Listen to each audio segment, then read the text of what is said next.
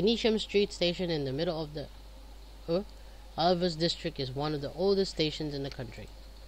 It's been in it op- it's been in operation since the Great Depression. Ah, history lesson again. Even today, its position in the middle of the town gives it a great deal of influence. I found myself in front of the Alvas police department in in Nis- eh, Initium Street Police Department, police station. I can't speak. Supposedly, they try to preserve its 1920 style when they re-renovate. Eh, When they renovated it, the results have been mixed. Someone had decided edges and street lamps that looked like gas lights would help the place look quaint or something. It made it look more like an amusement park than a police station.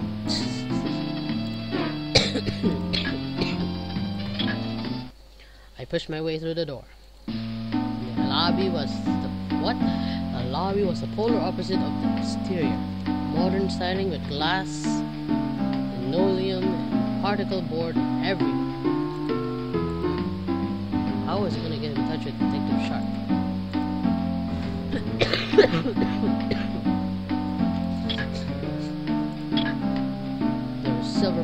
Officers and visitors milling around the office. I noticed most of the visitors were there for traffic violations.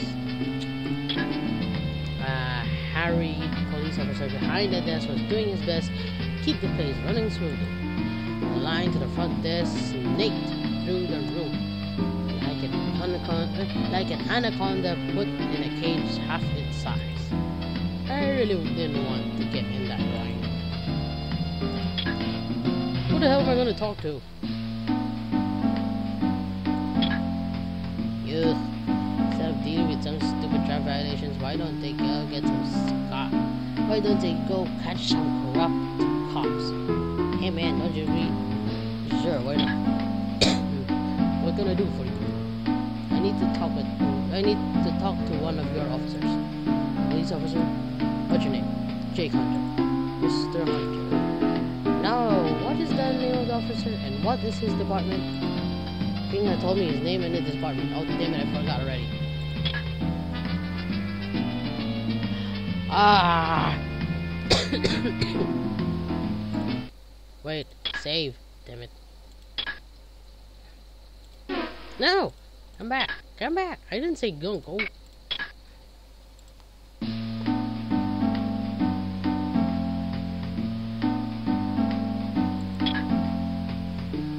Special Crimes Unit. His name, name was Sharp. His name is Detective Sharp. Thank you. One moment, please.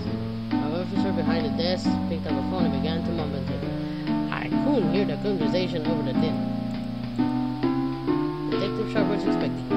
We should be out shortly if you could just wait over there. Got it. Thanks. there was nothing to do but wait. And wait. I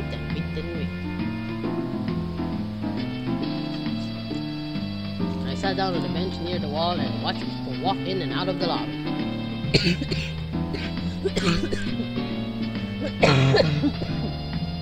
Excuse me. Observant people watching is one of the most important skills for a private eye, PI. It was long before my brain began to notice and categorize interesting people in the lobby. Tattooed. What the? A tattooed biker with Jesus saves him emblazoned across his back holding an infant and looked looking concerned. Several bleh, several prosperous teenagers in handcuffs. They look rich, they be out in this. They, eh, they look rich. They'd be out of the station hours. Oh.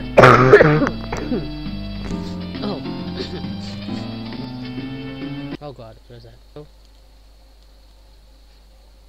It's dirty.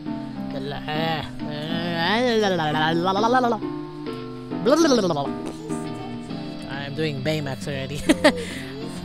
okay, let's continue. I don't remember where we are from. The lobby was the polar opposite of the exterior, modern styling, blah blah blah. Hmm, how was it gonna get exactly? Talk! Did I talk to you before? Yeah, I did. Inspect. Reception desk. Hurried policeman behind the desk was doing his best to keep the place running smoothly. The line in the front desk snaked through the room like an anaconda put in a cage half its size. I really didn't want to get in that line. Receptionist. What can I do for you? I need to talk to one of your officers. Police officer? What's your name? Jake Hunter. Mr. Hunter. Now, what is the name of the officer and what is his bar? Answer. Homicide. Okay, well, and his name?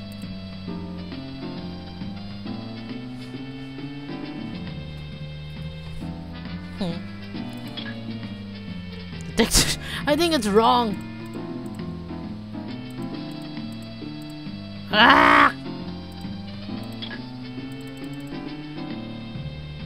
Mr. Lewis. Thank you. Wait a moment. Hey. Ah! Not again!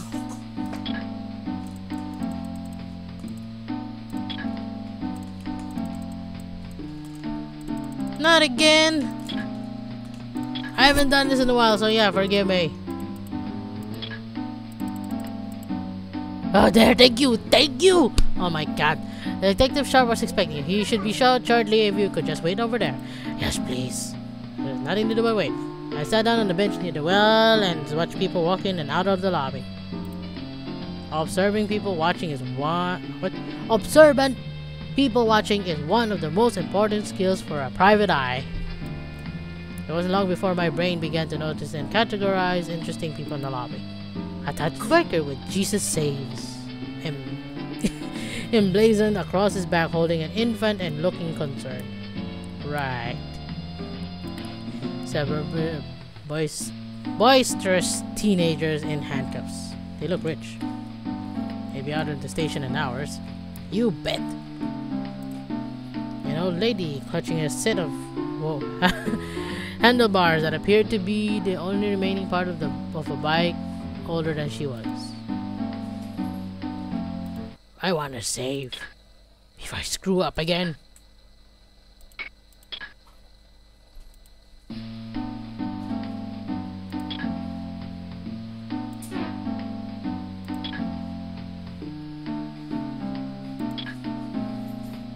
Detective Sharp, he's on his way. Please be patient. Okay. Where? I don't care about you. As looking around the lobby, I decided to try and my next move when the man walked up to me. you are... You gotta be David Letterman. Are you Hunter, the private investigator? Yeah, I'm Jake Hunter. What's it there? I'm Detective Sharp. King has told me about you. Sharp, lead me over to the corner of the room and behind a small partition. Sorry, but this is the best I can do right now. The rest of the office is full. King said you wanted to talk to me. I do. I got a few questions I was hoping you could answer. Great! Eva's room. What's the status of Eva Christina's room? I had some of my men go over and check it out. Uh, there's not a lot we can do though. No reporting's been filed, so officially yet. We just preserved the site and locked the doors of the apartment for now. That's really all we can do. Good enough. Did King explain the case to you? Yeah. But without a missing persons report, there's not much the police can do. The fact that she works for a consulate makes things even more complicated. What do you know about the Busk? The consul? Officially, there is no official position on the consul. But if Kings like you that bad, then you can't be that bad. Just remember, you didn't hear this from me. There's a rumor going about. There's a rumor going around for a while that the, about the consul that he's into some bad shit. Looking around, we're trying to get a lead on him, but that damn diplomatic immunity is making our lives hell. What do you mean by that? Just what kind of bad shit is the consul running into, according to this rumor? Smuggling the music. We don't know what he's doing or how he's doing it. We know smuggling goods have been passing through the consulate, but we just can't get past the diplomatic immunity to nail the bastard. Interesting. That is interesting. I wonder if that phone call had anything to do with it. Phone call? Oh, some chump called me last night, told me to leave the case alone. Real threatening. Hey, that sounds dangerous. Be careful, dude. I will be careful! You think this is the first time I've been threatened? If I let it get to me every time, I'd never get anything done. Spoken like a man of the law. Well, if anything happens, be sure to keep me in the loop. Oh, sure, I will. I was just curious. How do you know King? King? Haha. Well, I suppose you could say he was like my mentor. He helped me out a lot when I was still a greenhorn. Aww. His passion for the truth is something I strive to match, even now. Can I visit the apartment now? What? I thought you went over before. What? Aquarius again? Stop drinking! You're drinking too many! This is like an alcohol to a baby. Except it's Aquarius. I thought you went over it before King called me. Well, sort of. I couldn't be too thorough. I didn't want to disturb a potential crime scene. Hmm. Well, my man didn't find anything of interest. I know. But there's a good chance I'll come. There's a good chance I'll come up empty-handed. But who knows? Maybe I'll notice something. I think it's worth a shot, at least. Hmm. You're just like the king said you'd be. Fine. I'll tell the apartment manager to keep the door unlocked today. Just let me know if you find anything, alright? Of course, I will. Let's move. I moved my way through the crowd of cops and civilians to the door, shoved it open, and walked outside. Found myself in front of the station. I want to cut it short. Elsewhere.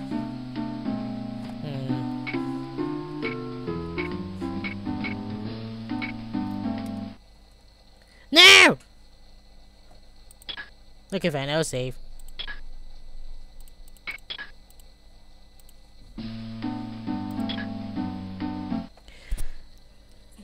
The spring sun shone on my back as I walked towards Eva's apartment. It was a good distance. It was a good distance from the police station, and by the time I arrived, it, I was beginning to sweat. I find myself outside Eva's apartment. Eva. Woman had been declared missing came home while I was investigating her. If only Eva had done the same.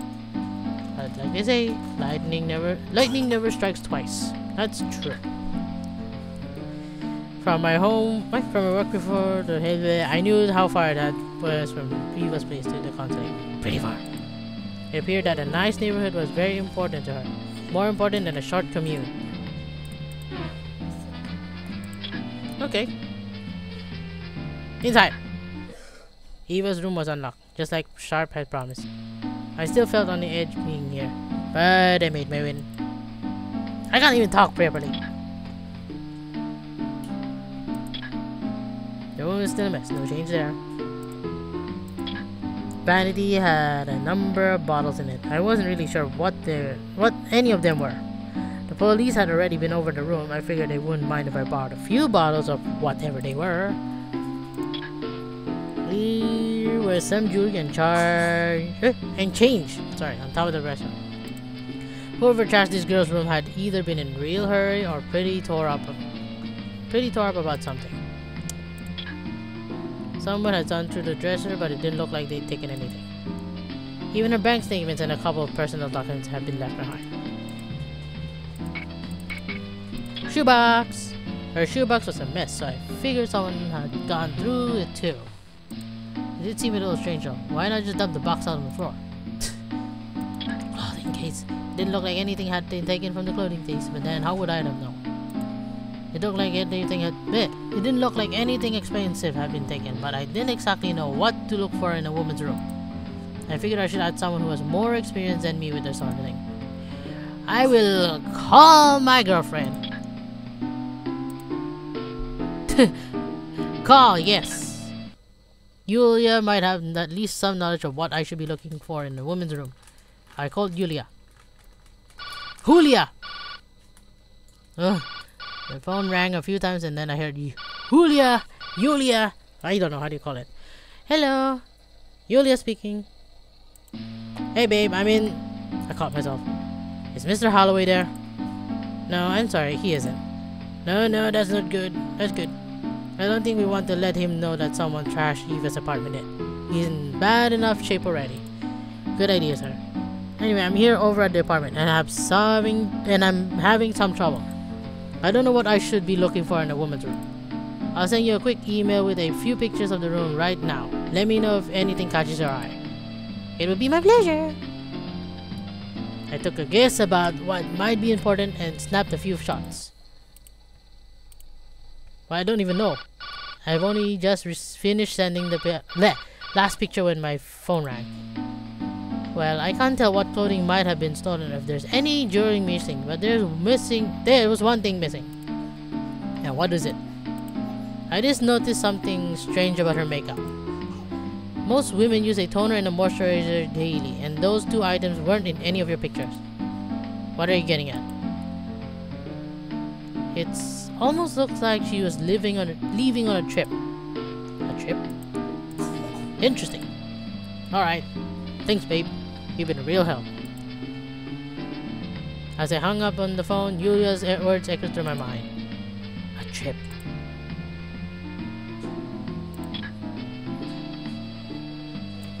A trip. About time! I did enough. Even room, Eva's room wasn't going to tell me anything more. It was time to move on. With Julia's word about the trip still on my mind, I pulled the door shut behind me. What kind of kidnapper gives their victim time to pack makeup? Uh-huh, right. Arrived at Eva's apartment building. You mean you arrived downstairs? Wait, let me save. No, no, no, no, no, no, no, no, no, no, no, Save, save, save, save, save, save, save, save. Memories of the past. Please don't show me away from the past.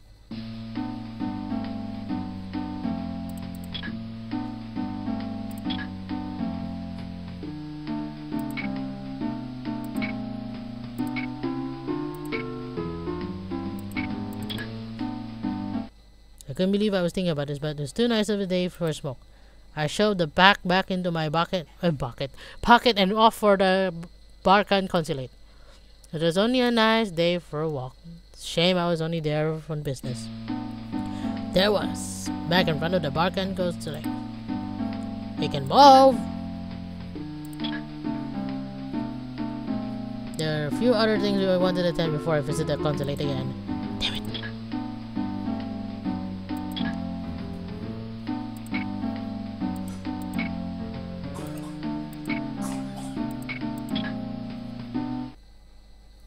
Right. It wasn't surprising Evan had been a regular. Hmm. Right. Let's move in. Inside, inside.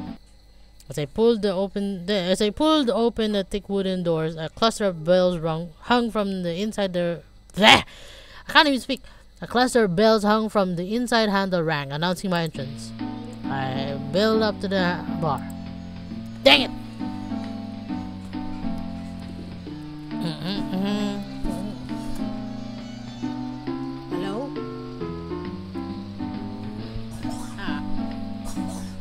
The food. Wait, wait, wait, wait. Tiny is eating my, my food.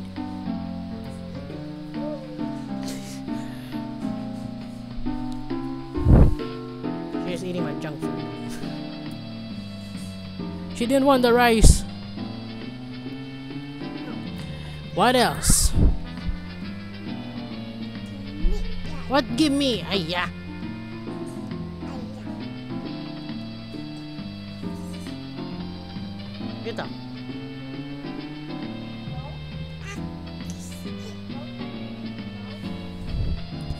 Mother on the telephone.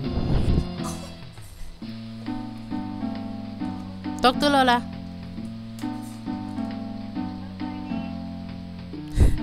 I'll get back right in a bit. Okay. The bar. The bar had just opened for the night, but at this hour things were really were still dead. The only other customer in this place was the lonely middle-aged woman from the night before. I really didn't want to talk to her, but I absolutely didn't have to. Then talk to her! Greeting. Can't get enough of this place, can you? Yeah, sorry to bother you. Oh, it's no bother at all. I was hoping someone could. I was hoping to find someone I could chat with. Great. Uh, it's a bad Eva, isn't it? I know. Unfortunately, I think I've already told you all I know. Actually, I wanted to ask you about something else. Something else? What is it? Remember the business card I gave you the other day? Hmm. Not again? Stop drinking all your drinks. Have you shown it to anyone?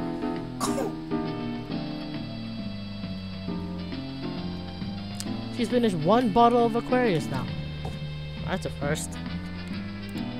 Oh, you mean it wasn't just for me? Oh yes, I did. I think I did show it to someone. Who? Uh, after you left, another man came by. He was asking about Eva too. I thought I could help you out, so I told him your story. He said he wanted to get in touch with you. So I showed him the business card you gave me. Did, did I do something wrong? No, no, no, it's nothing. It's fine.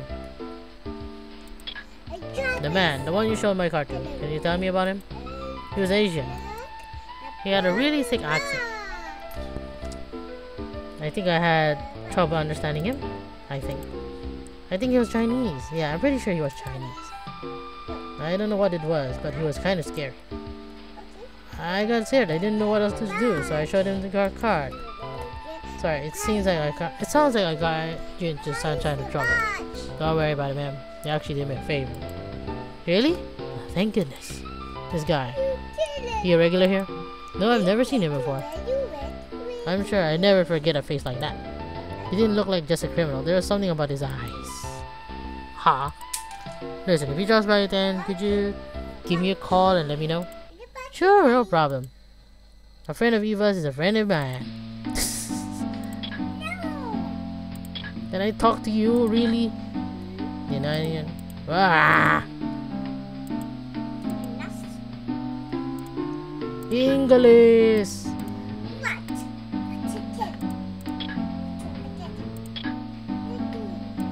Yep, no drink. Even for me, so I figured it was high time I was heading back to the hotel.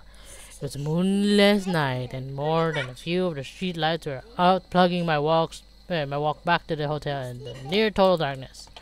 I hadn't made much progress in the case, but any progress is better than nothing at all. Yes, yes. It was a long walk back to the hotel, so I decided to take a time to organize my thoughts. What did I want to do? I want to think! No, let me say.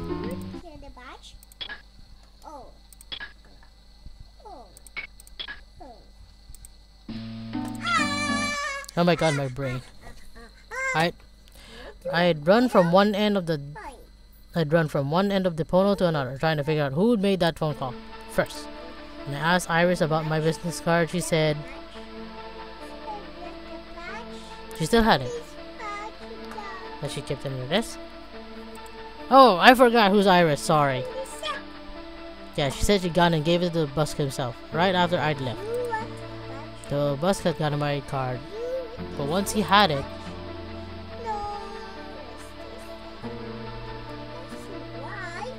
he put it away and he hadn't shown it to anyone.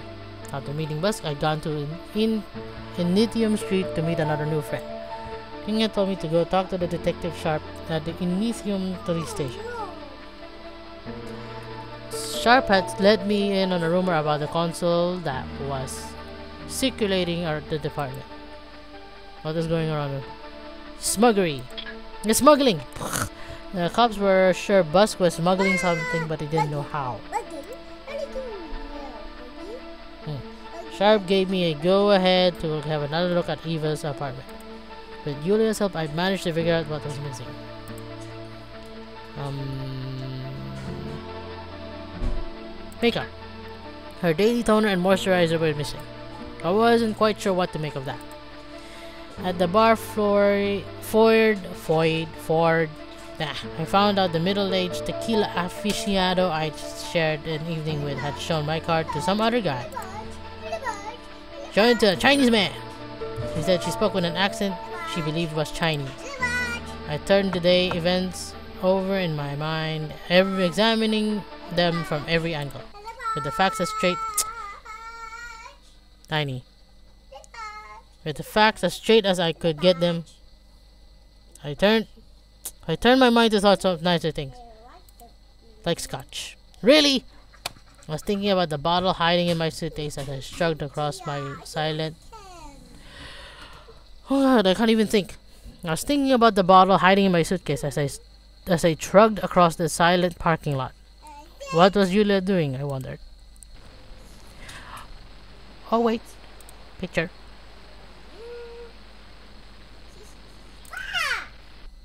No!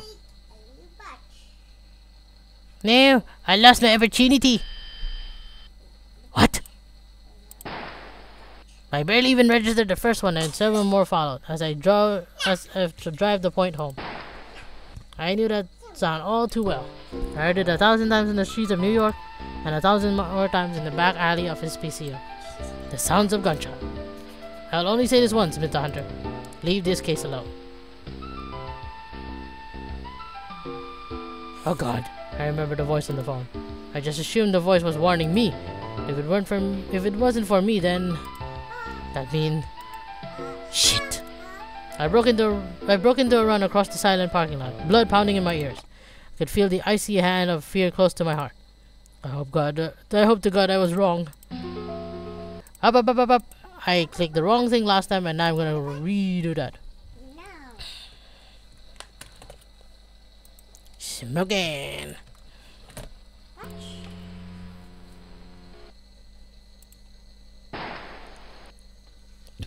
The crack of a gunshot shattered the, the Pono night. The sound hit me like a punch to the stomach. The shots had come from the hotel. As I sprinted across the parking lot, the frantic thoughts stumbled through my head. Had someone tried to bump me off only to find Holloway or worse, Julia? As some goon up, some goon up in the hotel had just emptied what sounded like a whole clip into something. I just hoped that something hadn't been a human body. Yulia had been hurt.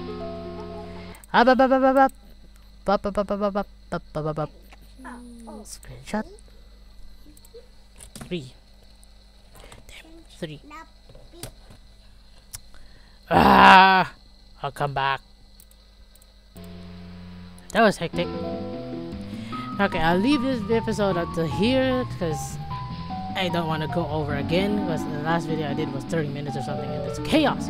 So yeah. Thank you so much for watching. Click on the like or dislike button and tell me how you think of the video.